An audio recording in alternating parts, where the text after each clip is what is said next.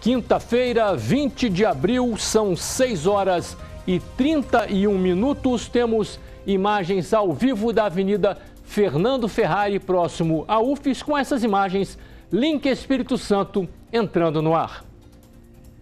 Boa noite. Essa semana, o Link Espírito Santo chamou atenção para o crescente número de moradores de rua na Grande Vitória. A percepção de que há mais moradores de rua foi confirmada por dados revelados pelas prefeituras da região. No programa de hoje, voltamos ao assunto conversando com o professor de Geografia e pesquisador da realidade dessas populações, Igor Robaina. Você pode participar dessa entrevista enviando perguntas e também os seus comentários. Antes, veja outros assuntos desta quinta-feira. Ônibus do Transcol cai em cima de casa em Cariacica. Em São Mateus, programa faz pacto pela educação. Aumento de metais no Rio Doce preocupa moradores de Colatina. Em Linhares, IDAF apreende 10 toneladas de carne clandestina. Estas e outras notícias agora no link Espírito Santo.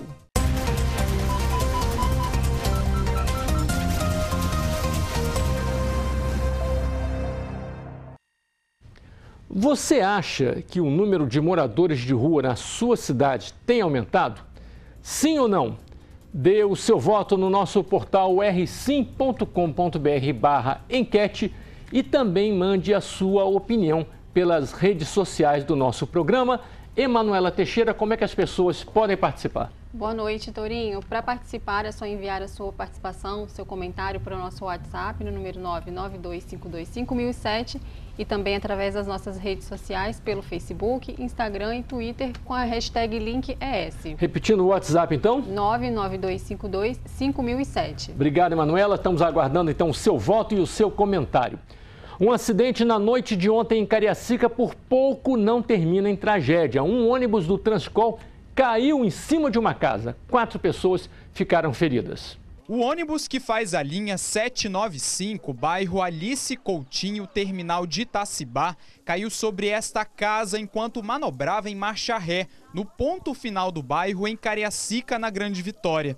O acidente aconteceu ontem, por volta das 8 e meia da noite. Dentro do ônibus estavam o motorista Marcos Aurélio Gama, de 40 anos, e o irmão dele, o cobrador Augusto César Gama, de 31. Augusto quebrou o braço e permanece internado. Segundo testemunhas, o motorista ficou em estado de choque e precisou ser levado para o hospital, mas já recebeu alta e passa bem.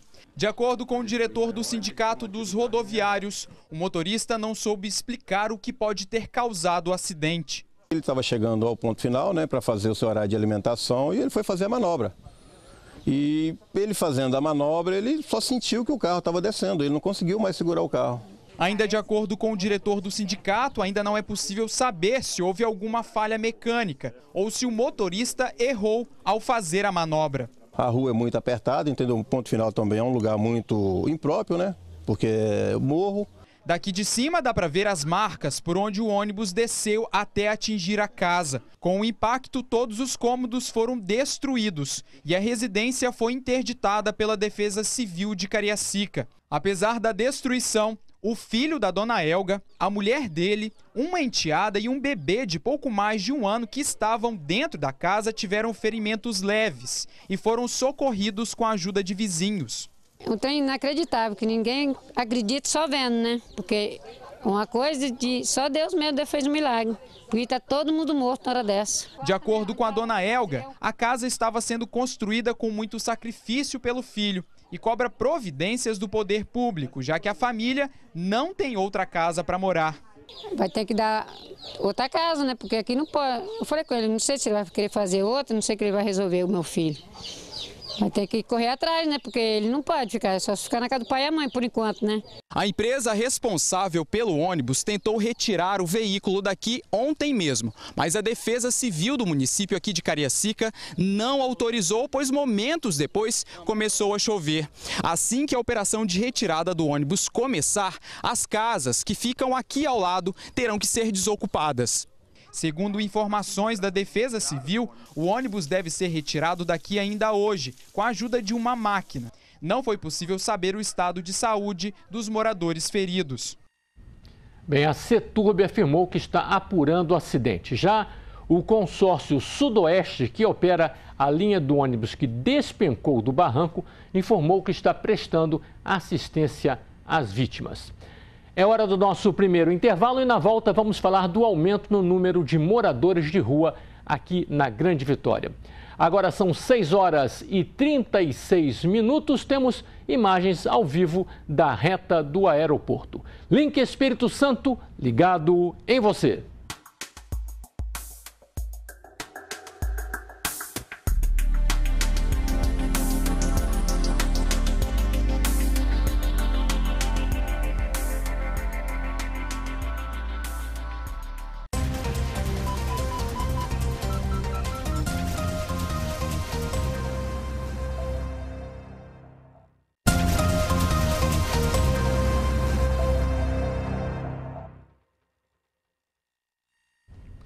Link Espírito Santo de volta e eu lembro você a nossa enquete dessa quinta-feira. Você acha que o número de moradores de rua na sua cidade tem aumentado? Sim ou não? O seu voto é no rsim.com.br barra enquete. Você manda a sua opinião também para as nossas redes sociais e já temos o primeiro resultado. Primeiros números, né? O resultado é, parcial da parcial. nossa enquete. É 58% dos internautas acham sim que o número de moradores de rua tem aumentado e 42% consideram que não. A Ana Alice de Jardim Camburi diz pra gente que tem, tem visto sim mais pessoas na rua, né? E ela comenta que a situação das pessoas de rua deve ser tratada como uma questão social uhum. e de saúde pública e ter mais atenção do governo. Muito bem. Emanuela, essa semana a gente mostrou aqui no link o aumento do número de moradores eh, aqui nas ruas da Grande Vitória. Basta andar pelas ruas para ver o que as estatísticas comprovam, o aumento no número dessas populações. Vamos rever agora um trecho desta reportagem. Há cerca de dois anos, o André, de 34 anos, ficou desempregado. Eu saí para procurar emprego. Como não consegui, não consegui, não tive coragem de voltar para casa, porque há muito tempo caçando emprego. Eu comecei a ficar constrangido, com vergonha. Sem trabalho, acabou mergulhando no mundo das drogas. Ele já foi internado pela família, mas não conseguiu abandonar o vício. Para você conseguir se tratar, no caso, você teria que ter um, acolh um acolhimento da família, mas para você se tratar, você tem que ter o medo de se tratar, porque se você não trabalha, você não tem como se manter. Para você se manter, você tem que ir para a rua. Se você não tiver com a cabeça pronta para sair para a rua, você acaba fazendo a mesma coisa, caindo no mesmo armadilha que você caiu antes. Em todo o ano passado, o Serviço de Abordagem Social da Prefeitura de Vitória identificou 209 pessoas vivendo nas ruas da capital. Mas somente nos três primeiros meses deste ano, o número subiu para 233 pessoas. Segundo um levantamento realizado pela Prefeitura de Vitória, mais de 50% da população de rua é composta por pessoas de fora do estado. A grande maioria da população em situação de rua são migrantes que buscam a capital justamente pelos serviços que nós oferecemos, pelos atrativos, né, o mercado de trabalho, é, a possibilidade de se reestruturarem, buscar um emprego. E passamos a conversar agora com o professor de Geografia da UFES, o Igor Robaina, que há nove anos vem estudando o tema das populações de rua. Seja bem-vindo aqui ao Link Espírito Santo. Muito obrigado. Professor, o senhor fez esses estudos no Rio de Janeiro e agora está desenvolvendo junto com um grupo aqui no Instituto João de Santos Neves, não é isso? É, o que, que lhe chama a atenção inicialmente quando uh, pesquisa sobre as populações de rua? Então, a pesquisa ainda está sendo, está né, tá em desenvolvimento, está sendo desenhada, inclusive junto com a participação né, dos movimentos do movimento nacional, da população em situação de rua, com os próprios sujeitos, então com assistentes sociais, psicólogos, pedagogos. Uhum. É uma, uma situação muito complexa a população em situação de rua, né, porque são diferentes fatores que acabam efetivamente levando né, as pessoas para essa situação. Então não existe um único fator né, de fato. Então, seria um conjunto de fatores políticos, sociais, culturais e, logicamente, econômicos. É, nesse momento, a gente aponta logo a questão da crise econômica. Realmente, o peso da crise econômica é fundamental para esse aumento que nós estamos percebendo nesse início de ano? Não, em alguma medida, lógico, né, sim. Né, o, próprio vídeo que, que vimos né, anteriormente, ele ressalta um pouco como que conflitos familiares podem estar associados com crises econômicas. Então, nesse caso, a própria figura do provedor, né, historicamente, a figura do homem como provedor, o chefe da família, e quando isso, na verdade, não consegue ser efetivamente realizado, podem ocorrer questões vinculadas a esses conflitos familiares, o que pode provocar a ida de determinadas pessoas né, em situação de rua, ainda que não seja um único fator decisivo. Né? Certo. É, a gente também percebe muito quando essas pessoas são abordadas, boa parte delas diz assim, então eu prefiro ficar desse jeito mesmo, prefiro ficar na rua, não quero ir para abrigo, não quero voltar para casa, eu quero ficar aqui. Por quê?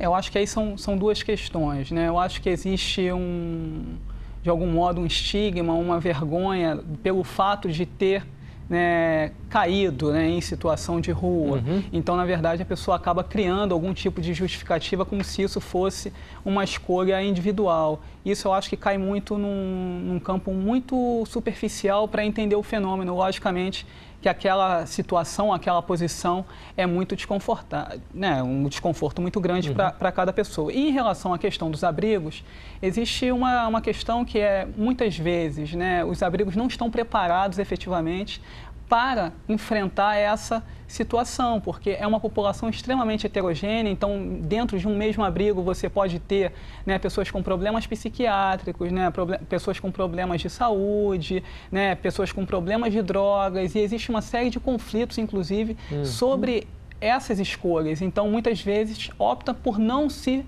né, por não ficar nesses abrigos. Então, é uma questão também de pensar a própria política pública em relação à heterogeneidade. Quer dizer, não tratar fenômeno. todos como se fossem um só, né? Exatamente, porque não é, ainda que essas pessoas tenham um elemento em comum que é estar naquele determinado momento nas ruas, nos uhum. espaços públicos da cidade, mas efetivamente essas pessoas são super heterogêneas em relação como que elas Perfeito. enfrentam a própria situação de rua, né? Ok.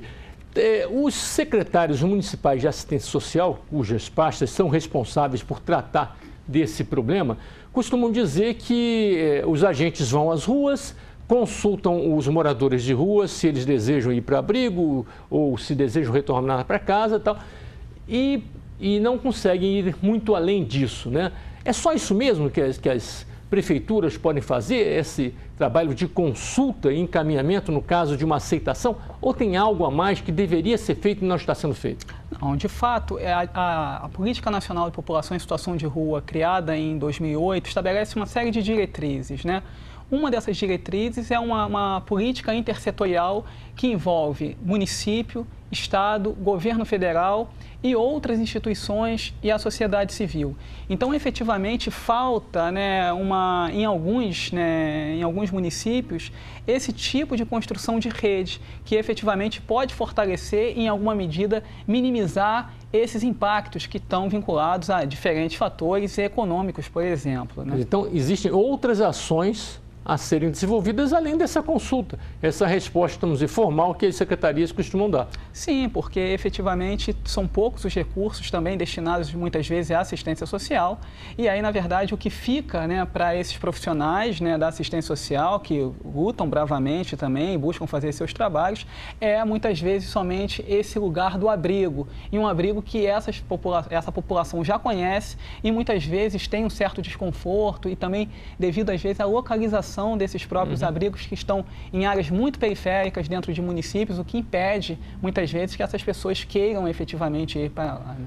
O que, que, na opinião do senhor, deveria ser feito, então, num momento de, de, crise como esse, onde a gente percebe que o número dessas pessoas é, aumenta, elas estão totalmente sem condições de moradia nas ruas, desabrigadas, né, dormem ao relento. Que ações deveriam ser adotadas, ainda que fosse um pronto-socorro?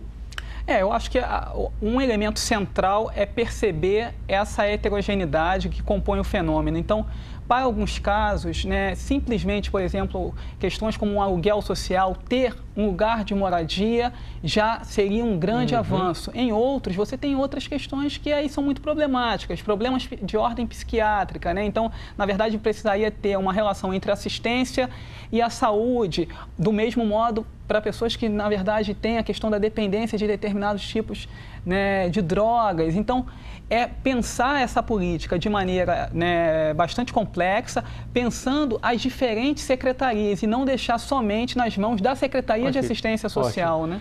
Só para a gente encerrar aqui, que já estão me avisando que o nosso tempo está tá acabando, a conversa está muito boa. É, em relação às pessoas, moradores formais das ruas, que reagem de maneiras diferentes, por exemplo, as pessoas falam, uns até dão algum tipo de ajuda, outros não gostam nem de passar perto, né? Qual deve ser o comportamento das pessoas que, é, que moram né, em casas ou apartamentos próximos de locais onde existem moradores dormindo nas calçadas, por exemplo? Olha, assim, né, os estudos né, comprovam que a população em situação de rua não é uma população violenta, não é uma população perigosa, elas, na verdade, são resultados de um conjunto de desigualdades e crises sociais, né? É, é importante pensar um pouco na solidariedade, né? Como que a solidariedade ela pode mover né, essas situações e essas pessoas efetivamente né, fazem parte da cidade e de uma cidadania que se estabelece né, nesse momento. Então, ser solidário e ter, em alguma medida, compreender que nós estamos lidando com o ser humano, eu acho que é o princípio fundamental né, de todas as coisas. Ok. Professor Igor Robaina, professor de Geografia da UFS, obrigado pela presença obrigado a você. e pela sua análise aqui no Link Espírito Santo. Muito obrigado. No próximo bloco, temos as notícias do interior e as últimas informações do portal R5. Agora são 6 horas e 50 minutos. Temos imagens ao vivo da Avenida Beira Mar, em Vitória. Link Espírito Santo, ligado em você.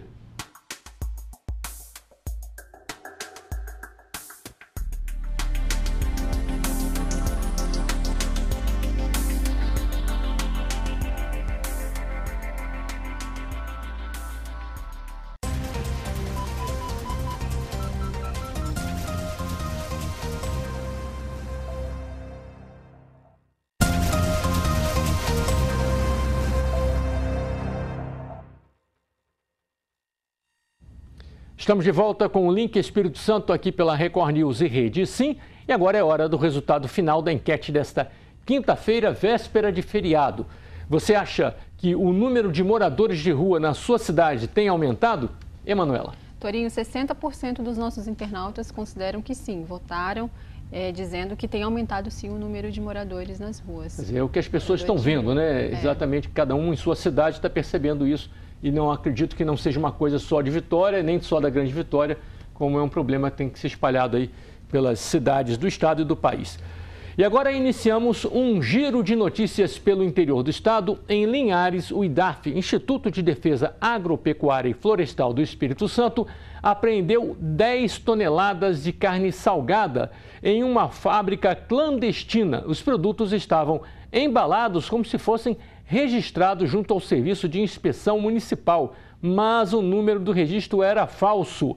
Os produtos foram destruídos e a empresa foi interditada.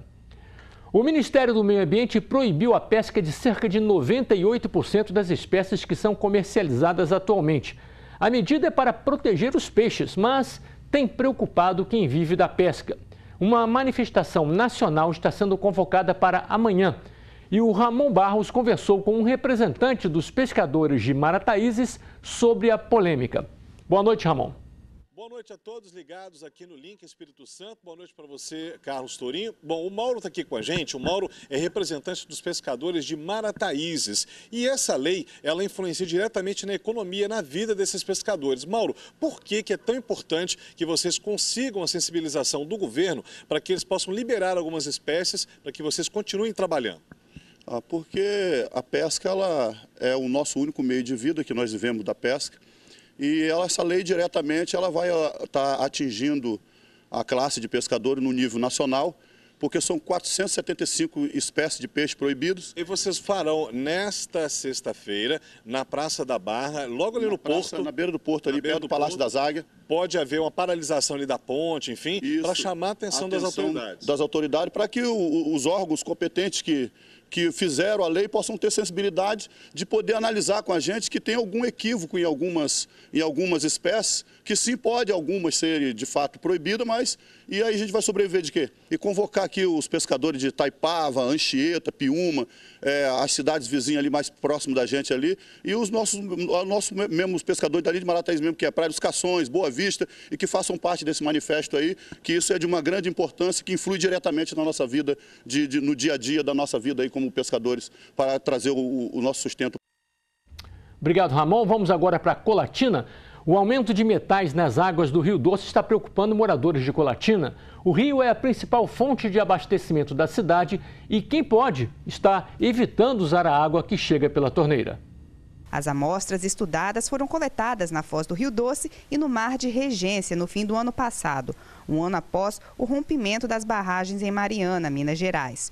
De acordo com a análise, os índices de metais, principalmente ferro e alumínio, foram semelhantes aos encontrados semanas depois do desastre, que aconteceu em novembro de 2015. A notícia preocupou. Muita gente não consome a água vinda do Rio Doce por falta de confiança na qualidade. Não tem como confiar, né? O que aconteceu foi uma coisa muito grave. Eu acho que na, nas próximas décadas, acho que ninguém deve confiar, é muito arriscado, né? Então não tem como mesmo. O diretor do Sanear admite que houve um aumento na quantidade de metais encontrados na água que chega à estação de tratamento, mas que isso não interfere na qualidade da água que chega às casas. Nós temos as nossas análises aqui que são diárias, de hora em hora, melhor falando. Temos as análises de uma empresa terceirizada que são alternados em todas as nossas retas, diárias também, até para atender uma, uma demanda do Ministério Público.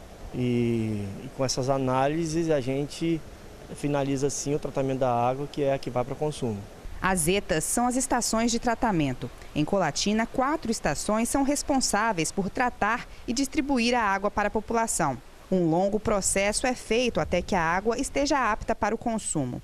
Duas vezes por semana, uma análise completa é realizada em cada estação para monitorar a qualidade e níveis de turbidez, que são as impurezas encontradas na água que vem do rio. De acordo com o laudo da última análise, feita no início do mês, os níveis de metais e de outras impurezas estão abaixo do limite máximo exigido pelo Ministério da Saúde. Apesar de todas as garantias, muita gente prefere investir em água mineral mas nem todo mundo tem condições financeiras para comprar. Eu não confio na água, mas devido ao alto custo de ficar consumindo água mineral, eu acabo optando por usar ela assim mesmo. Nesse giro pelo interior, chegamos a São Mateus, onde professores participaram de um encontro para discutir o Pacto pela Aprendizagem, um programa do governo do estado. Diretores de escolas estaduais e representantes das secretarias de educação de vários municípios estiveram reunidos na Superintendência Regional de Educação em São Mateus para discutirem um novo pacto pela aprendizagem proposto pelo governo do estado toda criança deve estar plenamente alfabetizada até o segundo ano do ensino fundamental.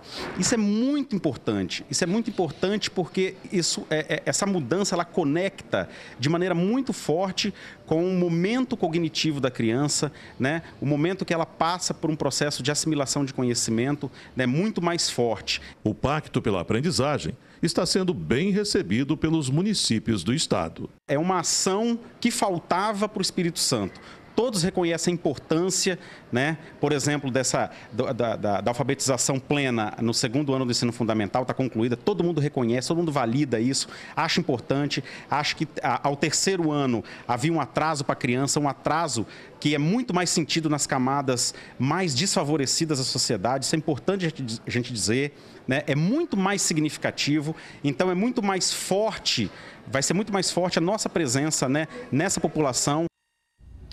E atenção, hein? A partir da terça-feira da próxima semana, a Record News Espírito Santo vai mudar de canal. Quem assiste pela TV analógica no canal 57 vai passar a assistir pelo canal 39. 57 passa a ser o 39. Já a transmissão digital vai continuar no canal 8.1. No entanto, nas duas situações, tanto a analógica quanto a digital, o telespectador vai ter que refazer a busca automática do seu televisor para que os canais sejam sintonizados. Para quem assiste nas TVs por assinatura, não haverá mudança. No interior, os canais também continuam os mesmos. Agora são 6 horas e 59 minutos e o Link Espírito Santo de hoje está terminando. Uma boa noite para você. Aproveite o feriado, hein? Temos aí imagens da Ponte da Passagem. Record News, informação para você crescer.